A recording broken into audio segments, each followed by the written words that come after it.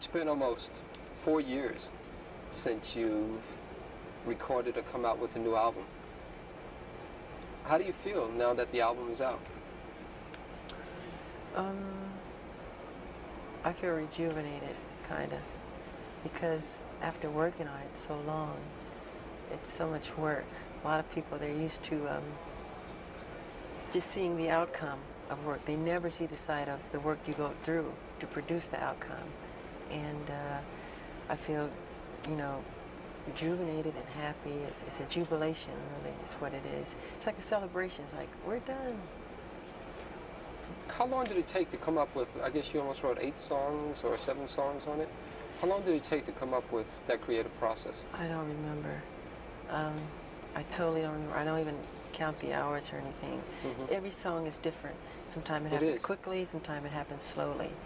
No one can quite say what the creative process is because I have nothing to do with it almost because it's created in space. It's God's work, not mine. You know, talking about that, God gives us a lot of gifts a lot of times, and you've been really blessed with a tremendous amount of gifts. And yet it seems as though a lot has been required of you. Do you sometimes regret being so utterly famous? No, sometime, only sometime. Sometimes I want to sneak into places and not have any hoopla or, you know, and uh, and it doesn't work all the time because people start and they crowd around, and which is sweet. I mean, I shouldn't complain, but No, but you have a, you have a right to complain because everybody has a right to go out there and to just be alone. But it seems like that right isn't really given to you. It was part of the work, I would say. hmm How do you feel about the song "Bad"? I, we talked earlier, and I told you that I like the song "Bad" because it, it's really all about you. You are the baddest when it comes to uh, the record industry. Um, well, it, it is quite different from anything I've ever recorded or I've ever written. Uh-huh. Uh, it's a bold statement to say, but um, I mean it in all goodwill, you know. So don't take It's a it too good modesty, seriously. of course. Yeah, I'm saying um, it's like a way of saying you're cool, you're you're uh, you're all right, you're you're tough. I'm not saying I'm like criminally bad. Of Sure. course, that's how people would take it. Um, it's a it's a bold statement to make. hmm How about the video? The video is also another thing on this album is that a lot of songs make social statements, and the video also does that too. With Bad, uh, I know that you probably didn't experience anything like that, but my name is Daryl, Yeah, I know. and I had a I grew up in Harlem in the South Bronx, and I went away to school, and I also had to deal with peer pressures. How did you come out about with that whole idea of doing something like that? Well, it wasn't really my idea. It's actually part of a true story where this kid tried It's to my make- story in a sense. Yeah, it's your story, but the truth of what really happened, uh, this kid, don't look at me, Frank. Let's, let's, let's do that tried Hold on for a second. Yeah, don't Okay. make faces. How now? I know that you didn't write the video, but you're telling me the story is almost like the story of my life. But you're telling me that it's based on another person. Yes, it is. This kid who went to school upstate in the country, whatever, who is from the ghetto, um, and he tried to make something of his life. And he would leave his old friends behind. And when he came back um, on spring break or whatever, Thanksgiving break, his friend, his friends became so uh, envious, jealous of him that they Mhm. killed him. But in the film, I don't die, of Yeah. course. So it's a true story that was we had taken from Time or Newsweek magazine Yeah. and uh, and he is a black kid like me, hmm and uh, it's a sad story. But we, you- hmm pardon? How does that make you feel when you see those sad stories? Oh, something like that is very sad because it's all negative. It's wrong. hmm I think that's life to want to grow and become more, and like you plant a seed and it grows into something beautiful, and Mhm. it never dies really. I think people should be that way. You know what? My favorite song on the album is "Man in the Mirror." Oh yeah, I like that a lot. That's that's my favorite song. I tend to hold a feeling that no matter what you do in the world, it really has to start with you. It's my philosophy too. If you want to make the world a better place, take a look at yourself and then make a change. Um, Is it it's so hard to do? Yeah, well, people don't look at themselves honestly. They don't look at themselves and point the finger at them. It's always the other guy's fault or somebody else. You should change yourself. Um, look at yourself. Make better of yourself. You know. When you look in the mirror, are you happy with what you see? In in what way? Just when you look there, in terms of that social philosophy. Um, I'm never totally satisfied. I always wish the world could be a better place. Um, no, not at all. Hopefully, you know, that's what I do with my music, Mhm. bring happiness to people and uh, to bring joy Are and a- some peace in their lives. Are you a prayerful person? Pardon? I said, are you a prayerful type oh, person? yeah, yeah, I pray a lot, yeah. I see a beautiful sunset and I say, God, it's beautiful, thank you. hmm Or a baby smile or butterfly's wings or anything like that, you know.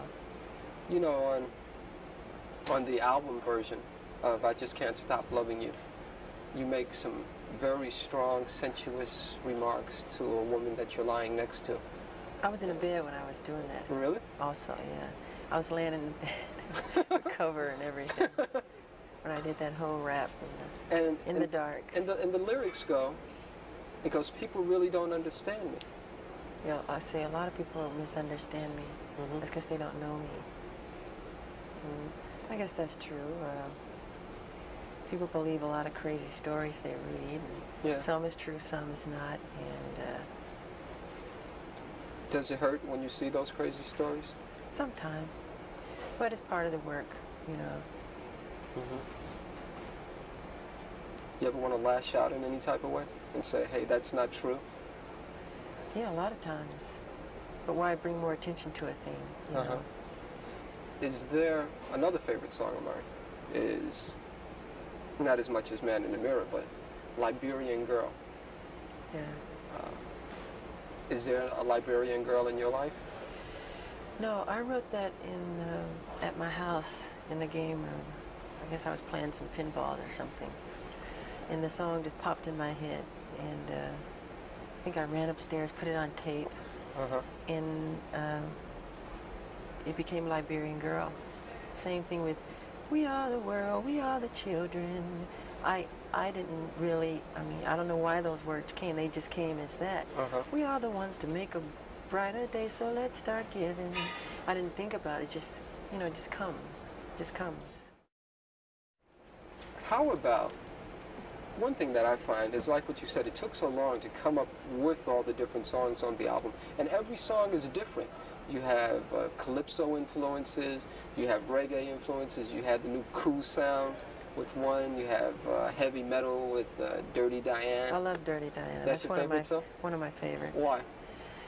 Because it's it's uh, it's a life story of uh, a groupie. Um, I hate to say the word groupie, but that's what it is. hmm And it's it's something that I've experienced, and a lot of people who grow up on the road, like me. I mean, I don't I don't remember not performing, hmm and. Uh, Do you feel as though you missed out on something by not remembering, not performing? Of course, uh, but I've gained a lot too. Mhm. A lot of people's never, a lot of people never get out of their hometown get to see other wonderful places. A lot of kids read about things that I get to see in person all over the world, different places. So that's, I'm so happy about that. I mean, you never can have everything.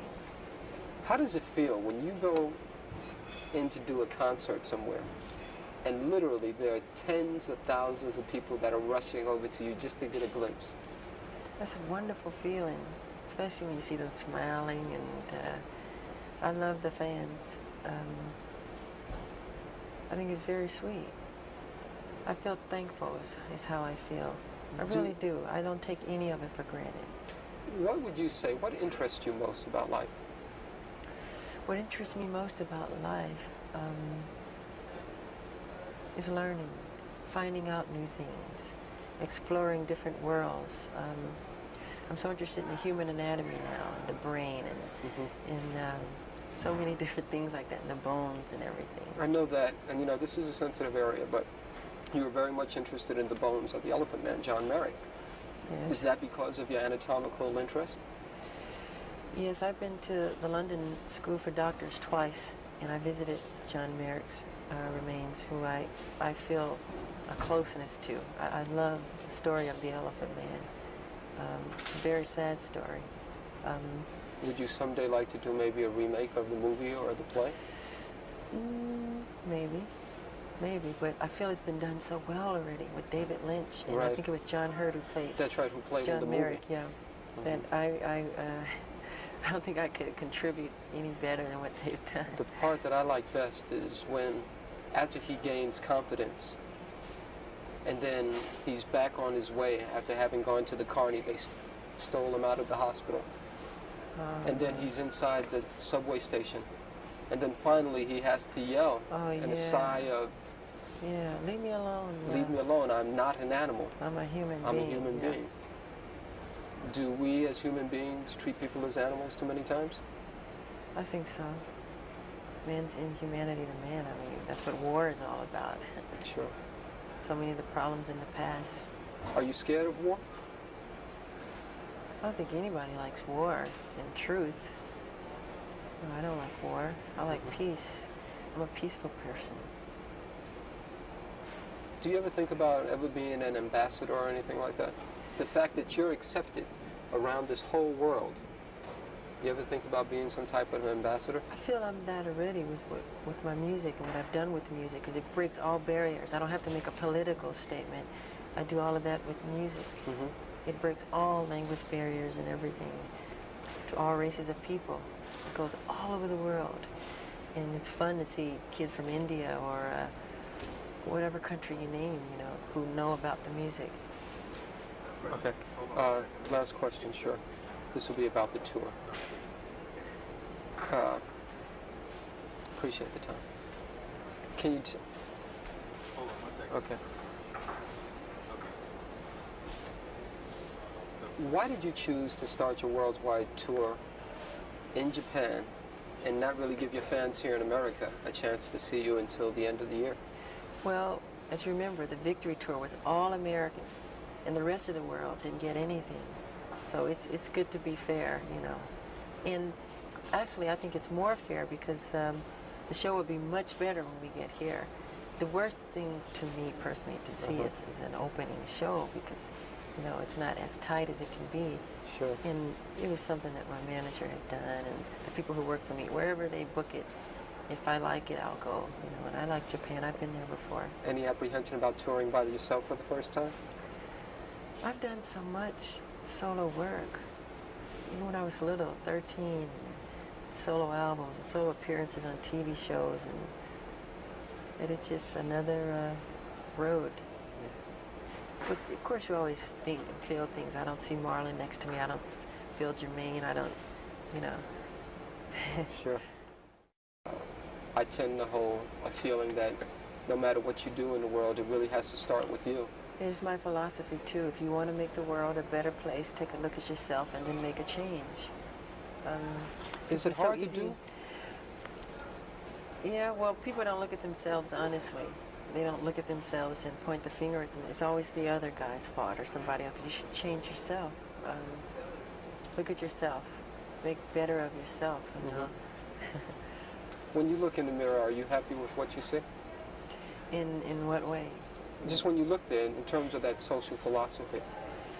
Um, I'm never totally satisfied. I always wish the world could be a better place. Um, no, not at all. Hopefully, you know, that's what I do with my music, Mhm. bring happiness to people and uh, to bring joy Are and you a, some peace in their lives. are you a prayerful person? Pardon? I said, are you a prayerful type Oh, person? yeah, yeah, I pray a lot, yeah.